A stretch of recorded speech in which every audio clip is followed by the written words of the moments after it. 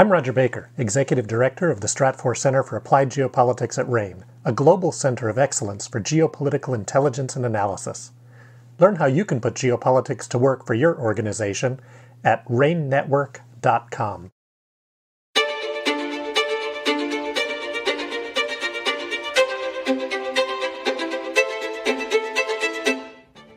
Welcome to RANE's Essential Geopolitics podcast. I'm Emma Kami, and I'll be your host for today's episode. Scores of Hamas militants broke through Israel Defense Forces barriers around the Gaza Strip on October 7th, overwhelming border posts and capturing the IDF base at Reem, which houses the headquarters of the Gaza Division. I'm joined by RANE's global security analyst Charles Thorson to discuss what we know about the recent Hamas terrorist attacks on Israel from Gaza and the possible ramifications. Welcome to the podcast, Charlie. Thank you for having me. Can you give us a breakdown of the recent Hamas attacks on Israel?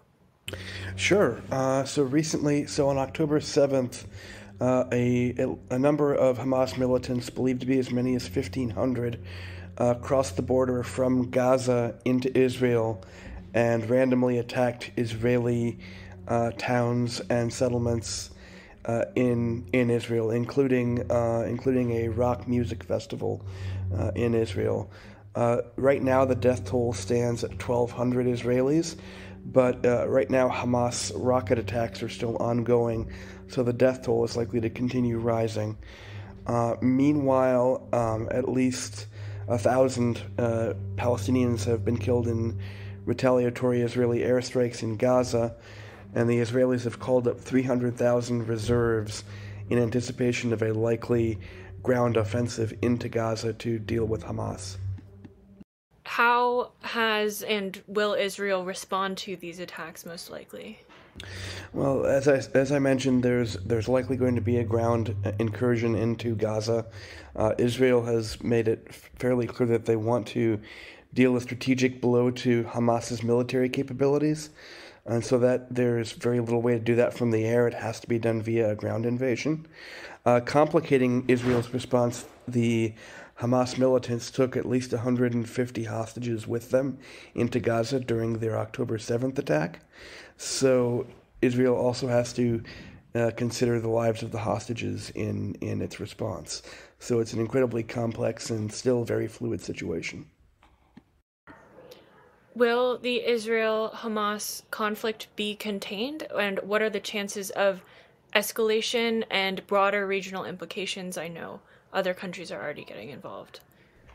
Well, so far it looks like it, it it's looking like it, it there's a um, it, I'd say it's about an even chance whether the conflict stays contained. Um, right now, there are uh, also, in addition to uh, repeated Hamas, ongoing Hamas rocket attacks from Gaza, there are also uh, report there are also frequent uh, rocket launches by Palestinian militant groups and Hezbollah militants in Lebanon.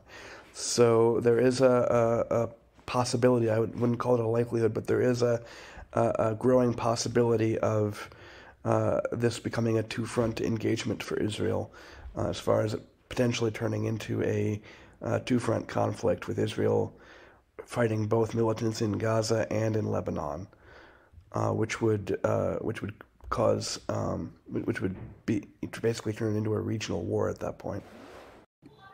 Well, so Charlie, is there any kind of outlook you can offer for us? I know there's not a lot that we know, but for um, people who obviously are concerned about the area or businesses who have um, interest in the region, can you um, give them a little bit of uh, kind of uh, your your take on what is likely to happen and, and a bit of an overview of where you think this could go, broadly speaking?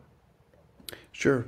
I think for the the, the, the certainty outlook is um, that the security situation in Israel is going to be uh, critical in terms of a, a, critical terrorist and other war and insurgency threat for the coming weeks as uh, Israel as Israel's uh, operations in Gaza continue and most likely expand, um, and the threat from northern uh, Israel, threat from Lebanon rather, into northern Israel will also remain heightened for at least the next week, as Israeli and Lebanese or Israeli and clash is Israeli Hezbollah clashes continue.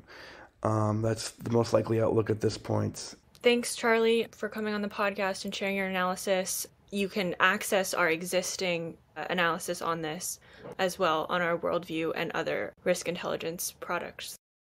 Our flagship risk intelligence products provide clients with access to the insights and analyses they need to make more informed decisions and drive better risk management outcomes. Sign up at ranenetwork.com. That's R A N E network.com. I'm Emma Kami. Thanks for listening.